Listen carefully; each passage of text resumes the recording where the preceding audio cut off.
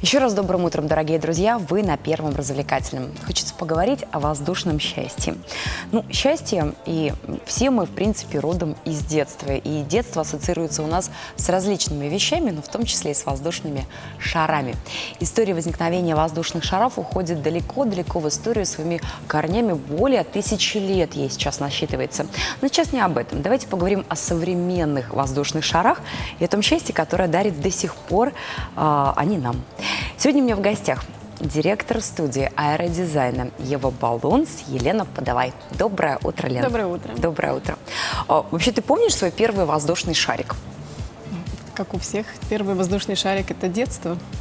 Так. В детстве, но уже когда я с ними начала работать, пробовала работать, как, как и у всех, он лопнул. Нужно было в первую очередь привыкнуть к а этому то есть первый звуку. блин всегда комом, а первый шар всегда лопается. Обязательно. Так. А потом уже потихонечку привыкли привыкли работать и творить красоту. Так с чего все началось? Я так понимаю, что лет пять назад, да? То есть все равно наши дети нас где-то двигают и помогают, и подсказывают нам, чем нам стоит заниматься или нет. Захотела сделать э, своему ребенку какую-то красоту. Я помню, это мне захотелось сделать цветок из э, воздушных шаров. Было сложно. Сразу мне казалось, что это нереально. Но ничего, потом получилось. И до сих пор мне нравится это делать. Так это переросло в бизнес, я так понимаю, да? Творчество. Творчество. В первую очередь это творчество. То есть в первую очередь это творчество, а дальше это бизнес. А где отличие в этих вещах и что идет параллельно? Ну, знаете как, мне повезло, что я э, получаю удовольствие от того, что я делаю. Это не работа уже. Ну еще и как бы за это, а да. Это переросло потом уже в, в бизнес, в работу, но в первую очередь это удовольствие. Угу. Хорошо. А, э, сколько шаров в день вот вы надуваете? Есть ли какая-то статистика, потому что понимаем, что в последнее время это действительно удивительно и модно? Бывает, конечно, бывает 30-50. Но максимально Максимально в, за сутки это было шесть с половиной тысяч. Шесть с половиной тысяч шаров. То есть это какой-то проект был, Это, да, конечно же, был День защиты детей. Это такие основные ага. праздники, когда нужно э, удивить и порадовать всех детей. Тогда стараются все организации, и, и родители очень тоже стараются в этот праздник э, порадовать всех особенно. Ну, помимо этого, деток, я понимаю, которых... что различные проекты еще бывают, да, то есть... То есть Бывает. помимо этого? Бывают проекты, да. Это уже когда какие-то благотворительные акции, э, либо какие-то рекламные тоже действия. Вот, познакомьте а, нас а, с вот этими замечательными человечками, которые находятся у нас сегодня в студии. Кто это, что это и когда появилась мода на вот таких вот маленьких а, симпатичных смайликов? Я их называю сладкая парочка, так. девочка и мальчик, которые танцуют. Очень деткам нравится, но даже взрослые все, ну, все. От, от мимо, мимо этих смайликов никто не может пройти. А, давно ли появилась... Сразу улыбки. Существует ли мода вообще на воздушные шары, на какие-то фигуры, на какие-то цвета? И вот э, что сейчас в тренде, что касается именно вот этого направления? А, мода. Ну, что, что касается детских праздников, это всегда идет привязка к детским э, мультфильмам, которые они смотрят. То есть это было, было Винкс, сейчас Монстры Хай, сейчас Миньоны. Угу, угу. То есть, То есть а... за детскими мультфильмами а, вы, э, Следим. что касается творчества и работы, следите постоянно, так? Следим, потому что нельзя э, деток, деткам сказать, что кто ты такой, кто такой персонаж. Да, да. Нет, то есть нужно быть всегда Все знаем, и надо знать мультфильм. Так. Надо знать характер еще этого героя, чтобы передать э, его во всей красе. А что касается свадебных или для взрослых, то в, в этом сезоне мне очень нравится э, использовать, э, я называю их зефирными. Это розовый, жемчужный и э, нежно-фиолетовый такой цвет. То есть перламутровым таким Все оттенком, перламутровым да? оттенком, Цветовая да. гамма вообще, она тоже имеет вот свойство, ну как бы вот модными быть. Сейчас, так понимаю, да, был модные в оттенки. Году, в прошлом угу. году очень много мы использовали ментоловый цвет. А в этом году разве поменялась какая-то тенденция? Вот уже делаем акцент на фиолетовый, розовый с, с белым. Фиолетовый, розовый с белым. Даже, да. Так, насколько я знаю, появляются новинки даже в области классических, вот, э, казалось бы, воздушных шаров, что можно еще придумать. Но, насколько я понимаю, расскажите о новинках этого сезона.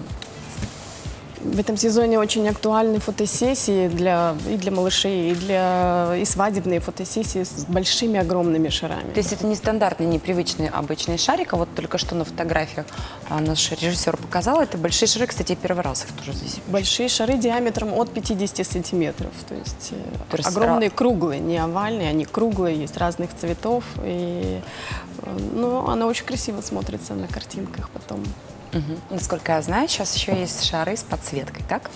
Это, это для ночной, для ночного запуска, даже для ночной фотосессии. Они очень красиво мерцают угу. а, ночью. И, да, молодожены запускают их в небо с пожеланиями, пожелания гостей. Ну, тоже очень красиво. Чаще всего больше на свадьбах используются ночные Да, да, да. Скорее всего, что ну, это так очень нежно смотрится, поэтому оно привязано к свадьбе. Ну что ж, дорогие друзья, мы вернемся к этой теме сразу после короткой паузы. Оставайтесь с нами на Первом развлекательном.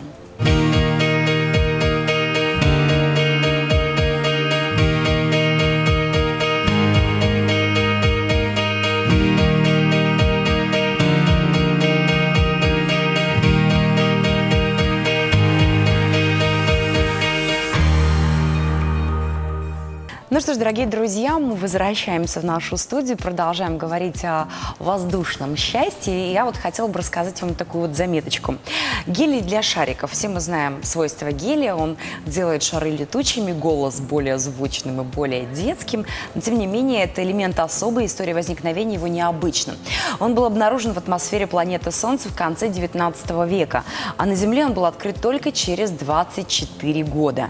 Гелий в переводе означает «солнце». Атмосфера и недра Земли содержат мало гелия, но по нынешним подсчетам 76% массы космоса состоит из водорода, а 23% из гелия. Сегодня у меня в гостях как раз а, такая прекрасная леди Елена Подавай, директор студии аэродизайна Ева Балунц. Доброе утро еще раз, Леночка. Доброе утро. Мы сегодня говорили об актуальных темах а, относительно счастья и всего того, что с ним связано. А, в общем-то, о том, рассказали нашим телезрителям о том, что модно в области аэродизайна, да, больше для детей, для взрослых, то есть свадебные сейчас появились огромные шары, шары с подсветкой специальные. Вот я уверена, уверена, что у каждого человека, который занимается с большой любовью а, своим делом, есть какая-то мечта. Да? И мечты есть такие вот более реальные и вот э, нереальные. Вот о чем мечтаешь ты? Мне бы очень хотелось э, попасть на фестиваль шаров э, участником. И ну, занять призовые места, это уже, конечно, само собой. А где существует фестиваль шаров, и если можно более подробнее об этом? Оттуда идут модные тенденции?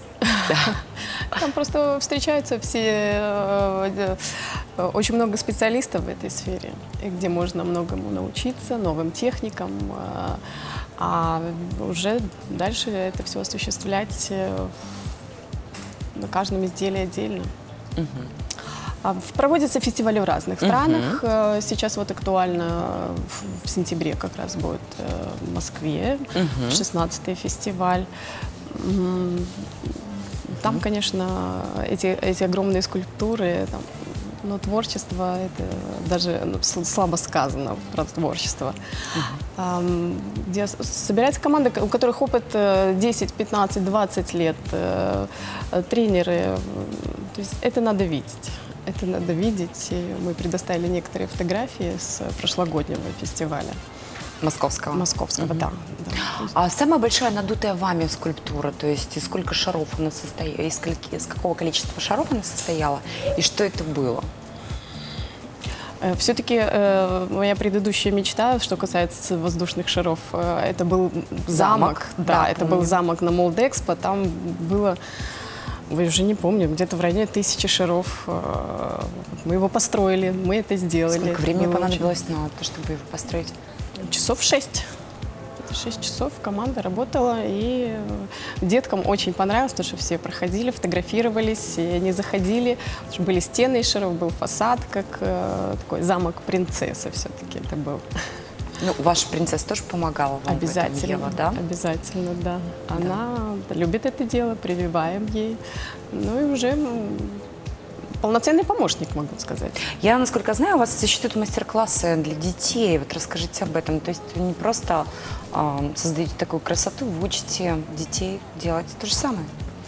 Да, мы работаем с детками э, по инициативе родителей, конечно. Но в этом году мы уже запустили такую услугу, как мастер-классы с детками. Конечно, от 10 лет это актуально, потому что до 10 им еще сложно почувствовать шар, еще сложно удержаться не, не, и делать все поэтапно. Они хотят сразу превратить шар там, в какую-то фигурку. Ну, это моделирование из воздушных шаров. Мальчики, конечно же, хотят э, сабельки и самолеты, девочки хотят цветы. Э, ну, а самая актуальная фигурка это, наверное, собачки и э, зайчики из шаров. Собачки, зайчики из шаров. Но это можно быстро сделать, если это знать быстро. технологию, все остальное, да? да? Какие у вас планы и проекты вот в ближайшее время? хочется много, э, новых, много новых изделий сделать, новые фигурки угу. и какие-то масштабные все-таки прививать культуру шаров у нас в стране, потому что Многие, конечно, считают воздушный шар, он воздушный шар, но это же можно все красиво очень сделать. И, и даже родители могут дома сделать своим деткам какие-то простые фигурки. Это очень увлекательное занятие для детей. Особенно вот после мастер-классов детки просят у родителей купить шары, и они дома еще потом занимаются, работают дальше. Тренируются. Да, им их, это, это завораживает, особенно когда они видят, что получается.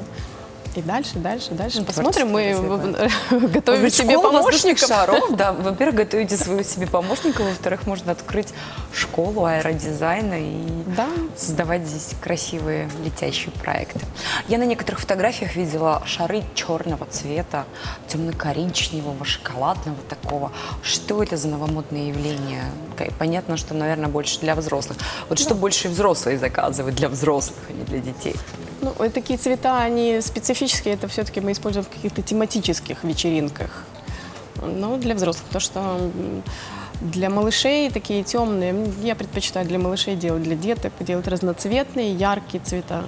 А уже какие-то по сценарию есть, когда нам нужны необходимые темные цвета. Угу. Может быть, э, в каких-то ночных клубах или какая-то определенная тематика угу. вечера. Угу. Ну, так стильно смотрится, эффектно. Да, это когда все леди в, в черных коктейлях, коктейльных платьях, и уже, конечно, большая хапка черных воздушных шаров. Это совсем скоро совсем 1, Совсем скоро 1 сентября. Как-то готовится студия аэродизайна к этому событию, и насколько а, востребованы шары, а не цветы в этом плане? 1 сентября все детки запускают э, гелевые шары. Э, это как добрый путь э, в Небо, школе. Да? да, обязательно на линейке. Угу, угу. Здорово. Мы желаем вам тогда удачи, хорошей подготовки к 1 сентября, а, реализации проектов. Ну и, конечно же, для вдохновения мы дарим вам баночку ароматного кофе «Якобс». Спасибо. Пейте, наслаждайтесь жизнью и творите. Спасибо. Ну что ж, дорогие друзья, мы с вами переключаемся. Увидимся сразу после короткой рекламной паузы. Оставайтесь с нами. Yeah.